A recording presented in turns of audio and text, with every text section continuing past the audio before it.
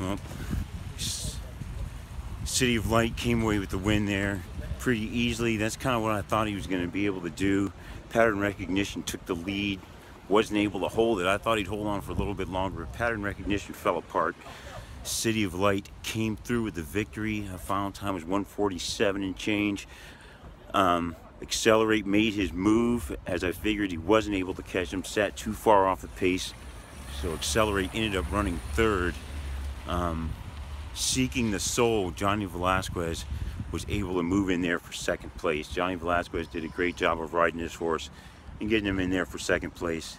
Uh, Bravazo ended up being fourth, Audible fifth.